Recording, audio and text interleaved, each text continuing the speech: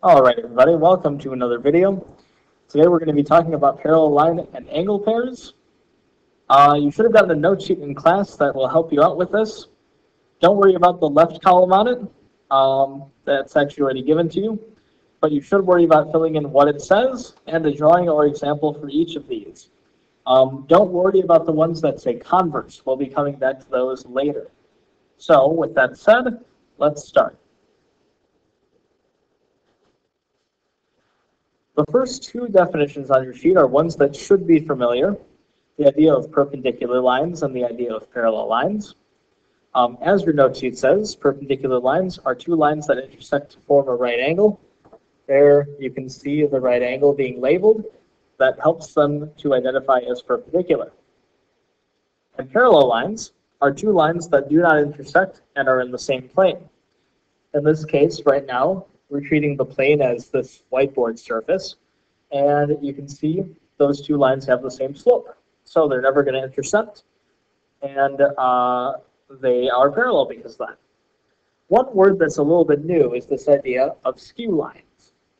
Um, if you imagine that cube that's drawn on the paper as 3D, you can see that line AB is sort of going up and down on the side of the cube, and CD is going left and right on the front of the cube. Those two lines are not parallel because they don't have the same slope, but they also will never intersect because they're on different parts of the cube. This is what we call skew lines. So that may be a new word, but that's what they look like. They're, they're not parallel, but they also will never intersect. So those are the first three definitions on this page. For the next ones, we're going to be dealing with this drawing. And what we have here is two parallel lines and a line that's cutting through those parallel lines called a transversal. These aren't definitions on your page, but it'll it's what they're called. And the numbers 1, 2, 3, 4, 5, 6, 7, and 8 are all representing angles that form between the parallel lines and the transversal.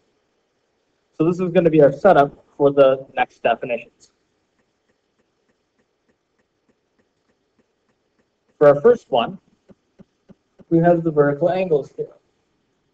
And the vertical angles theorem basically says that if angles are vertical angles, remember that a vertical angle means that you have two angles that are formed from two pairs of opposite rays. So if we take angle 5, angle 7 is a vertical angle to it. If we take angle 6, angle 8 is a vertical angle to it. And we could do the same thing for the ones above, but we don't need to.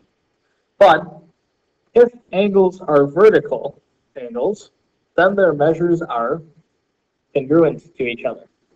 So vertical angles are always congruent. And that's what you would want to write on your what it says. For drawing, you may want to just draw this picture and label things accordingly. Uh, you can use different colors like I did if you want to. So that's vertical angles theorem. Linear pair theorem says that if two angles form a linear pair, then their measures are supplementary. They add up to 180 degrees, supplementary. Uh, so as one example, if we take angle 1 and we combine it with angle 2, angle 1, the measure of angle 1 plus the measure of angle 2 equals 180 degrees. we wanted to use a different pair. We could say. The measure of angle 7 plus the measure of angle 8 also equals 180 degrees.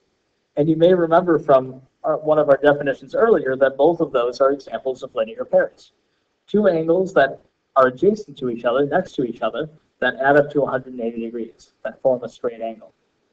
So that is a linear pair theorem. Corresponding angles theorem. So corresponding angles, if you look at this picture, you'll notice that 1, 2, 3, and 4 match up with angles 5, 6, 7, and 8 respectively. So if I choose angle 4, The one that it matches up with in the other set of four angles is angle A. If I choose angle 2, the one that that matches up with is angle 6. These pairs of angles are congruent. So angle 2 is congruent to angle 6.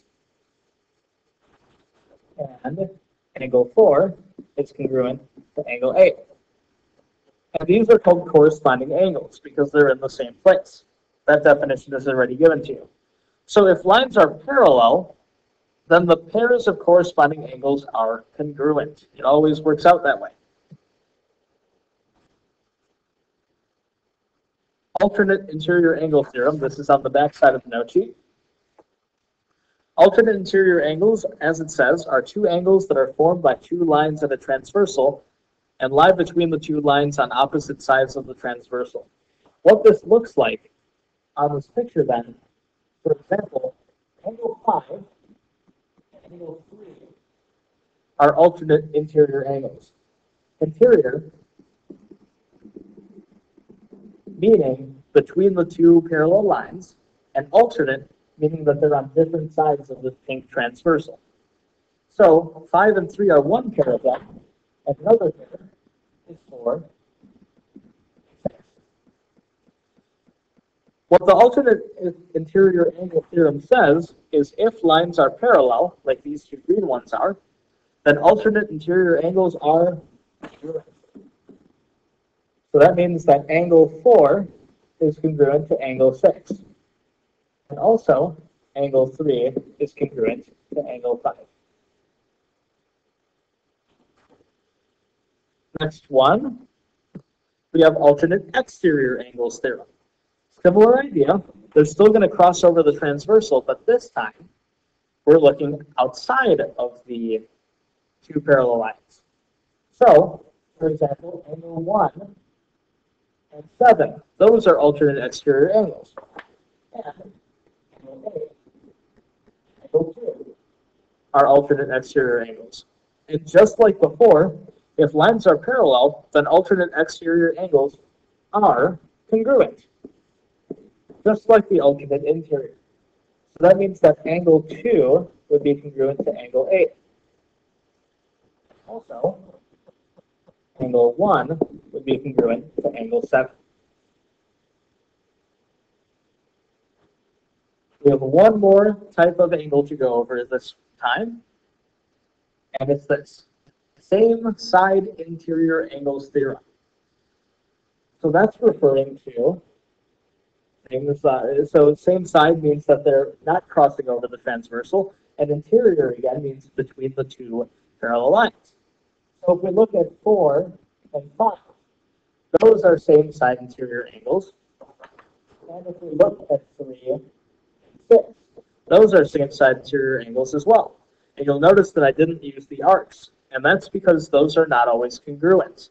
But the special rule with these angles is if we take the measure of angle 3 in this picture, and we add it to the measure of angle 6, they're going to total up to be 180 degrees. Which means, for your definition, if lines are parallel, like these green lines are, then same side interior angles are supplementary. These add up to 180 degrees. The other one that we have in this picture is that the measure of angle 4 plus the measure of angle 5 will also be 180 degrees. So that should be filling out most of your sheet, everything except for the converses. Um, no practice problems for this one, but I'll know if you watch the video because you should have the note sheet filled out. So uh, when we get to class, we will talk about this. We'll expand on it a little bit. And uh, hopefully you found this video informative. Hopefully you learned some stuff. So I will see you in class. See you later.